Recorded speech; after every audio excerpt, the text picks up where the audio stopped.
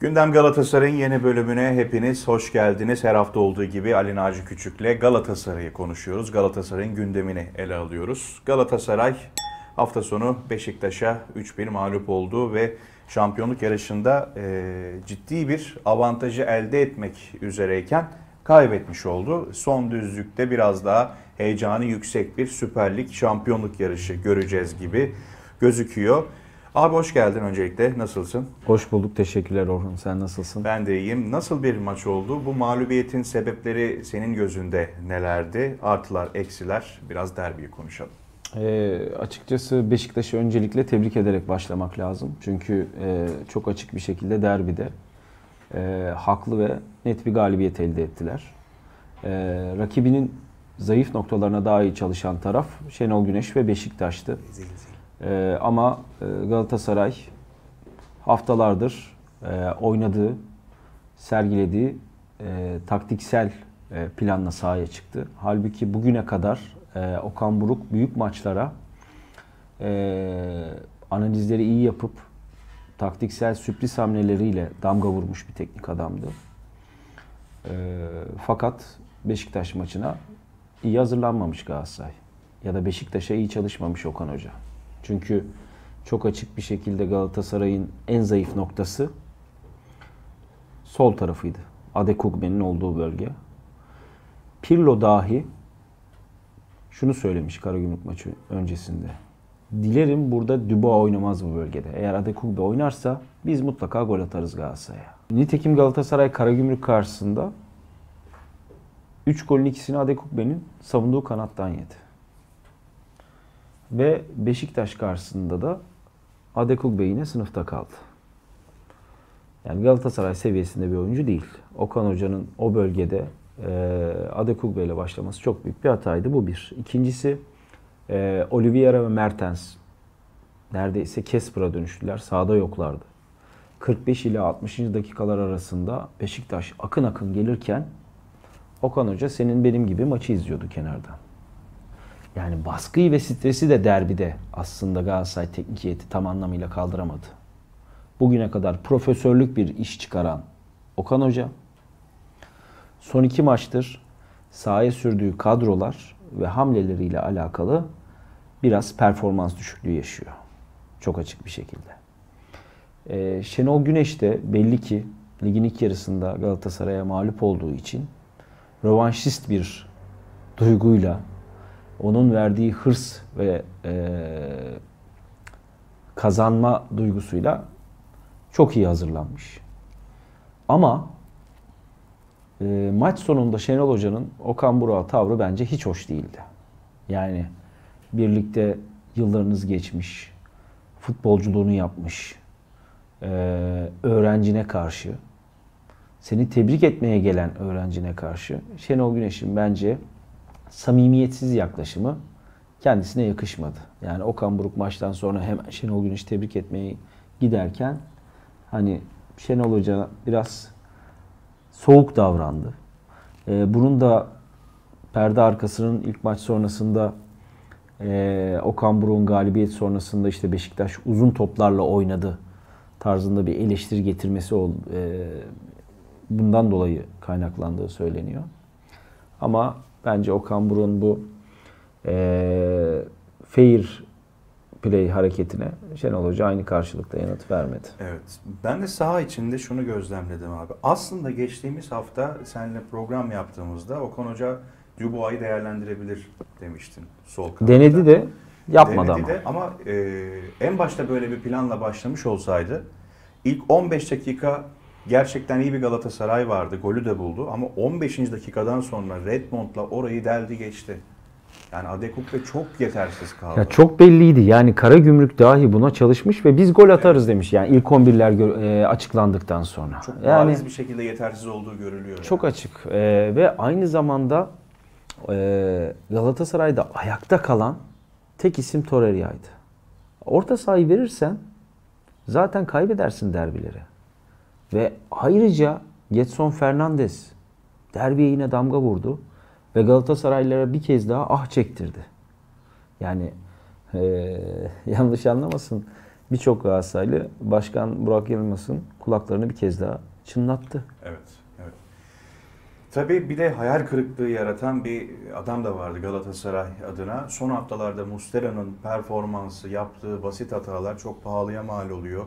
Ee, geçtiğimiz hafta da benzer hataları gördük. Bir form düşüklüğü var Mustera'da. Bunun ne kadarı saha içi, saha dışı, e, ne neden bu kadar uzun sürdü? E, bunun sebepleri de çok merak ediliyor. Şimdi Muslera Galatasaray için bir efsane. Yaşayan Kuşkusuz. efsane. Çok açık bir şekilde yani. Hacı neyse Galatasaray için neredeyse Muslera da o önemde, özellikle ve değerde. Ayrıca Muslera e, Galatasaray'a bir kaleci olarak maç kazandıran bir isim oldu yıllarca. Şampiyonluklar kazandırdı. Ama son iki hafta e, içinde aldığı Galatasaray'ın başarısız sonuçlarda Muslera'nın payı çok ama çok büyük. Yani Karagümrük maçında iki hatalı gol. Beşiktaş karşısında 2-1'e getiren goldeki büyük hatası e, pahalıya mal oldu. Normal bir Mustera bu hataları yapmaz. Belli Zaten- ki sağ içine çok konsantre ve motive değil. Aynı zamanda bu futbol dünyasının daha doğrusu bütün kamuoyunun son dönemde konuştuğu dolandırıcılık davasının mağdurlarından bir tanesi de Fernando Muslera. Yaklaşık 750 bin dolar civarında bir e, mağduriyet yaşadığı e, ifade ediliyor, iddia ediliyor.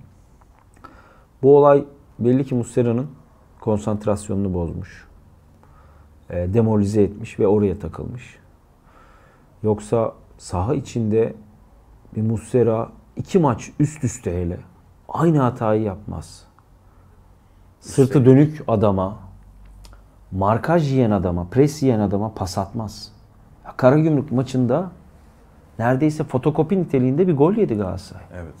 Ve derbide de e, açıkçası bütün Galatasaray'ın gardını düşüren gol aynı şekilde geldi. Beni şaşırtan Muslera'nın en sevdiği haftalar aslında. Yani son düzlükte Tabii. ne kadar etkili Performansını performans yükselttiği haftalar. gösterdiğini özellikle Hamza Hamzoğlu döneminde 2015 şampiyonluğunda yaşamıştık. Ee, o yüzden de bir hayal kırıklığı yaratıyor.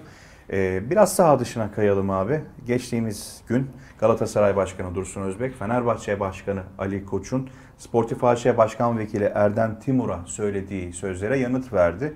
Kendi işinize bakın dedi. Yani böyle özetleyebiliriz. Ee, neler oluyor abi? Bence biraz geç kaldı Başkan Dursun Özbek. Hem taraftarına hem camiasına mesaj vermek adına eee, biraz geç kaldı. Neden geç kaldı? Fenerbahçe Galatasaray'ı sağ dışına çekmeyi başardı. Fenerbahçe Galatasaray'ın konsantrasyonunu bozmayı başardı. Ve Galatasaray da bu durumdan çok açık bir şekilde olumsuz etkilendi. Ee, yani Fenerbahçe Divan Kurulu 3 saat sürüyor, sürüyorsa bunun 2,5 saatinde Galatasaray konuşuluyorsa bu normal bir şey değil. Bu normal bir şey değil. Fenerbahçe'nin daha büyük Medya var. suçlu, TFF suçlu, Dursun Özbek suçlu, Erden Timur suçlu. Tek günahsız son yıllarda yaşanan başarısızlıklarda Fenerbahçe Başkanı Ali Koç ve yönetimi. Yani terör örgütü yakıştırması yaptı ya Sayın Başkan. Galatasaray kulübüne de, medyasına da, yönetimine de. Erden Timur ne yapmış? Yani şimdi futbol yöneticisi anlamadım ki işte Nefin olaylarına girdiler, teslim edilmeyen evler dediler. E belli ki burada de korkutan, sizi rahatsız eden ya da başarılı olan bir yönetici objesi var. Çünkü Galatasaray'ın şu an şampiyonluk yarışında avantajlı durumda olmasının mimarlarından bir tanesi Erden Timur. Galatasaray'ın zaten geçen yılki kadrodan buraya evrilmesi bile büyük bir başarı. Ha bu kadro yeterli mi o tartışılır. Ama bu noktaya gelmesinde Erden Timur'un çok büyük bir payı var. E ne oldu? Zanyolo transferi, Icardi transferi. Ama fakat bu şekilde olmaz ki ya. Ya seviye düşüyor bence. Seviye düşüyor. Bence Sayın Başkan'ın daha önce çıkıp konuşması, masaya yumruğunu vurması, Galatasaray'ı kenetlemesi gerekiyordu. Erden Timur yaklaşık 1,5-2 aydır açık hedef halinde. Her gelen Fenerbahçeli ateş ediyor adama. Evet. Tabii bu gerginlik e, sahaya da yansıyacak gibi gözüküyor. Çünkü Vodafone Park'ta alınan bu sonuç sonrasında şampiyonluk yarışının son maça kadar uzanma ihtimali eskisinden daha fazla görünüyor. E, final niteliğinde bir Başakşehir maçına da çıkacak Galatasaray. E, önce şunu soracağım abi. Son maça kalacağını düşünüyor musun bu işin? Valla birçok kişi bu senaryo üzerine çalıştı geçtiğimiz haftalarda. Ankara Gücü Fenerbahçe maçı, Başakşehir Fenerbahçe maçı. İyi çalışıldı bu senaryo ya da operasyon. Artı Galatasaray'da şu ana kadar bu stresi ve baskıyı kaldıramadı. Karagümrük ve Beşiktaş maçlarında.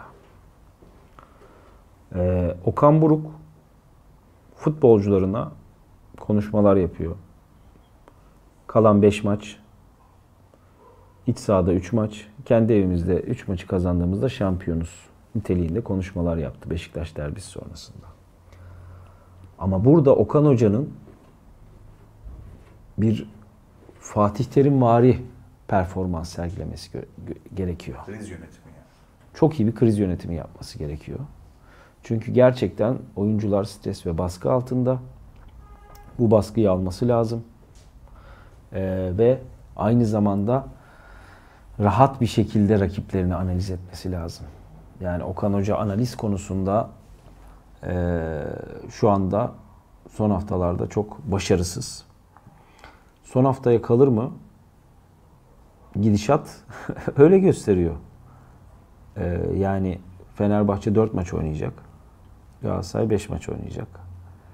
Ben belki ilerleyen sorularda vardı ama orada bahsedeyim olmazsa ben Başakşehir maçının Galatasaray için bir kırılma maçı olduğunu düşünüyorum. Bir reaksiyon gösterme maçı. Eğer Galatasaray iyi futbol, iyi galibiyet o zaman şampiyon olur. Ama iyi bir futbol ortaya koymazsa, oyunu domine etmezse taraftarı da, camiası da, oyuncusu da daha da büyük bir panik havasına girecek.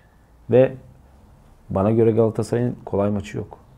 Her maçı evet. zor. Ama Fenerbahçe için aynı şeyleri söyleyemem. Şu iki maçta 5 puan kaybettikten sonra her maç gerçekten çok zorlaştı. Yani şu maçlardan birini kaybedip birini kazanıp birinde berabere kalmış olsaydı Tabii Galatasaray'ın o mental üstünlüğü çok daha ön planda olacaktı. Şimdi Tabii. Başakşehir karşısında bence 51-49 şu an Galatasaray'ın şansı.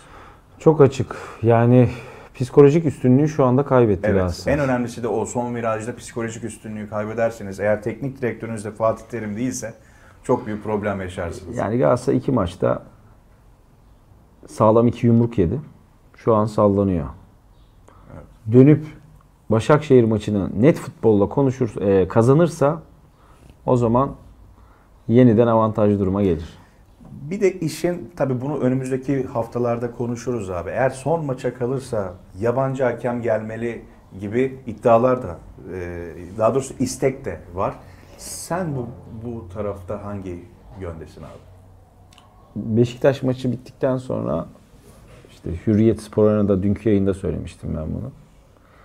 Çok açık bir şekilde hiç kulüplerin e, talebine gerek kalmadan Türkiye Futbol Federasyonu'nun şimdiden bu görüşmeleri ve çalışmaları yapması ve finalize etmesi gerekiyor bence. Yani hazır olmalı her şey. Sadece yabancı hakem değil. Varı, avarı, yardımcı hakemi, dördüncü hakemi hepsi yabancı üst düzey bir hakem olmalı.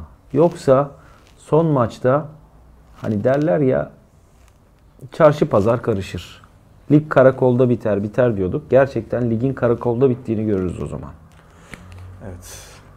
Şimdi Başakşehir maçıyla tekrar devam edelim abi. Ee, son maçta Okan Buruk bazı dersler çıkartacak mı çıkartmayacak mı bunu göreceğiz ama hem oyunculardaki havayı sorayım sana hem de Başakşehir karşısında nasıl bir 11 bekliyorsun? Bu sefer Dubai sol bekte görür müyüz abi? Görmeliyiz. Göreceğimizi de düşünüyorum. Yani Adekugbe Galatasaray seviyesinde bir oyuncu değil. Artık hani kader niteliği taşıyan maçlara çıkacak Galatasaray. O yüzden Başakşehir karşısında Sol bekte Adekugbe yerine Dubois. Ee, orta sahada da Berkan ee, ya da Barış Alper tabii ki yerli kontenjanından dolayı oynamak zorunda kalacaklar. Artık Berkan Barış Alper tercihinde ee, Okan Hoca e, birini sahaya sürecek. Ama Mertens kötüydü Beşiktaş derbisinde. Üstüne Napoli'nin şampiyonluğu üzerine İtalya'ya gitti. Ee, özel izin aldı. Olabilir. Yıllarca efsanesi olduğu bir kulübün şampiyonluğunu kutlamaya gitti ama ne kadar hazır olur Başakşehir mücadelesine kadar. Gerçi Galatasaray pazartesi oynayacak. Ee, Mertens'i de kesebilir ama çok düşük ihtimal görüyorum ben şu anda. Evet hep beraber Ama garanti göreceğiz. olan iki değişiklik var. Dubois yerine Adekugbe. Onun yerine de ya Rashica ya da e, Oliveira'yı kesecek Okan Hoca orta sahadan. Bakalım çok kritik bir karşılaşma. Abi ağzına sağlık. Ee, Gündem Galatasaray'ın önümüzdeki hafta yeni bölümde görüşmek dileğiyle dile- diyelim ve e, YouTube YouTube kanalımıza da abone olmanızı e, bekliyoruz diye hatırlatmamızı yapalım. Var mı abi eklemek istediğim bir şey? Teşekkür ediyorum. Sağ olun. Ee, sadece Başakşehir maçı çok e, dediğim gibi Galatasaray'ın bence şampiyonluk yolunda kırılma niteliği taşıyan karşılaşması. Ee, tabii ki Emre Belezoğlu da belki 7-0'lık maçın rövanşını almak adına bir kez daha kupada aldı ama Bu kez kenarda da olacak. çok iyi hazırlayacak takımını. Ee, çok zor bir mücadele Galatasaray için. Evet. Ee, fakat ne maç sonu ne maç öncesi lütfen artık eşler bu duruma karışmasın. İşte e, Beşiktaş derbisinden sonra Okan Hoca'nın eşi Sayın Nihan Buruk da bir paylaşım yapmış. Lale Orta'nın görselini paylaşıp. Beşiktaş çok net bir galibiyet aldı. Hakemle alakası yoktu. Galatasaray Hiç. sezon boyu e, belki hakem hatalarına maruz kaldı ama derbide geçerli değil bu durum.